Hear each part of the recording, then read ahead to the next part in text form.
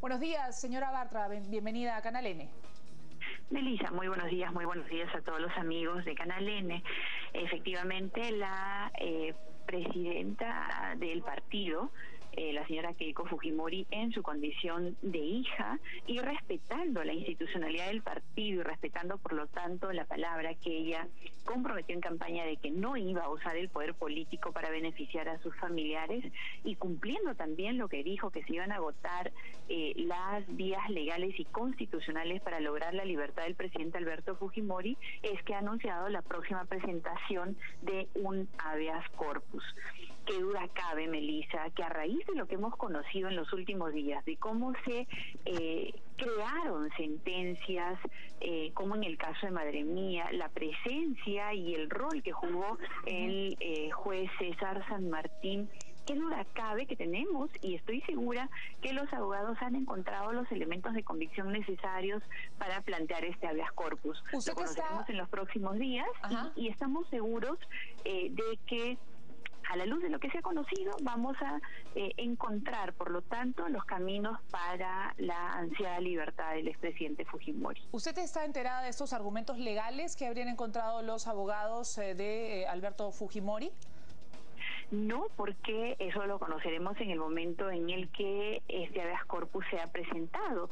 Pero eh, repito que lo que hemos conocido en los últimos días con respecto a las sentencias del caso Madre Mía, la actuación del juez César San Martín, eh, la forma en la que se dio esta sentencia, que para nosotros fue una sentencia política, en muchos casos con la, como la misma que Keiko Fujimori ha firmado con sofismas legales importados, merece un análisis desde el punto de vista constitucional eh, que conduzca finalmente luego de que esto sea analizado como corresponde con la objetividad que corresponde conduzca a la libertad del presidente Fujimori. Correcto. Eh, recordamos palabras eh, de justamente Keiko Fujimori del año 2013 en que decía que sí estaba de acuerdo con el arresto domiciliario. Ahora, bueno, aparentemente no y por eso ha decidido tomar la vía legal. Hay una contradicción ahí. ¿Por qué el cambio en todo caso?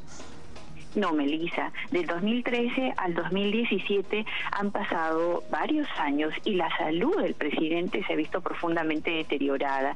Creemos que el presidente no merece pasar de una cárcel a otra cárcel con un grillete al cuerpo. Eso sería eh, indigno para quien consideramos nosotros eh, ha tenido un periodo de carcelería bastante grande y eh, que además eh, se constituyó y se constituye en el líder histórico del Fujimorismo y que además tiene el reconocimiento del pueblo peruano por todo lo que hizo para llevar a nuestro país a la senda de la paz y el desarrollo. Ahora, hay sectores, digamos, contrarios a Fuerza Popular, a, tal vez a Keiko Fujimori y a sus decisiones, que han planteado la idea, si a Keiko no le importó su madre en algún momento, pues menos su padre, esto a la hora de que la bancada de Fuerza Popular tomara la decisión de archivar el proyecto de ley justamente eh, que le daba libertad a presos mayores de 75 años. Hay un sector eh, de la población, felizmente no el mayoritario, eh, bastante mezquino, con una visión sesgada por el odio, un odio eh, que incluso ha hecho que en campañas, las campañas del 2006, la, la campaña del 2011, la campaña del 2016, los argumentos ni siquiera sean por el país, sino motivados por un odio ya enfermizo. Estos sectores realmente ni siquiera merecen ser comentados porque sus comentarios jamás son objetivos. No hay cálculo político en, la decisión de su lideresa, señora de, por el país.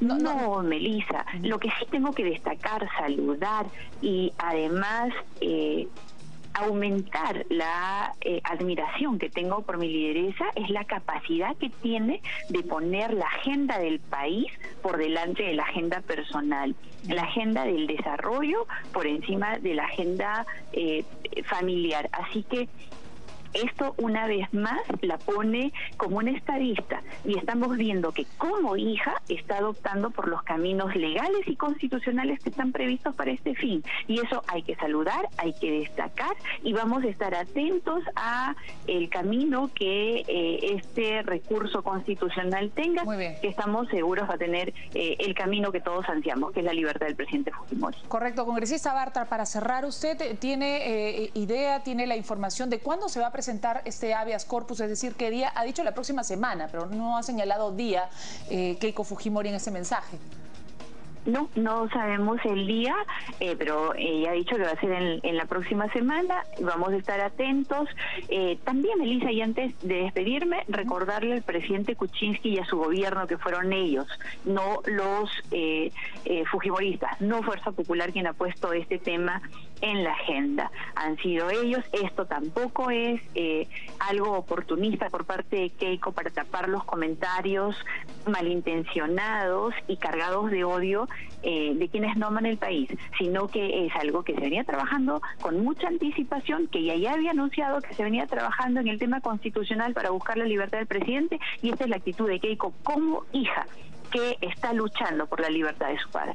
Correcto. Muchísimas gracias a la congresista Rosa, Rosa Bartra, primera vicepresidenta del Congreso, eh, cuyas reacciones acabamos de escuchar luego del anunciado por Keiko Fujimori, lideresa de Fuerza Popular, que tomará la vía legal, un habeas corpus de la libertad por su padre.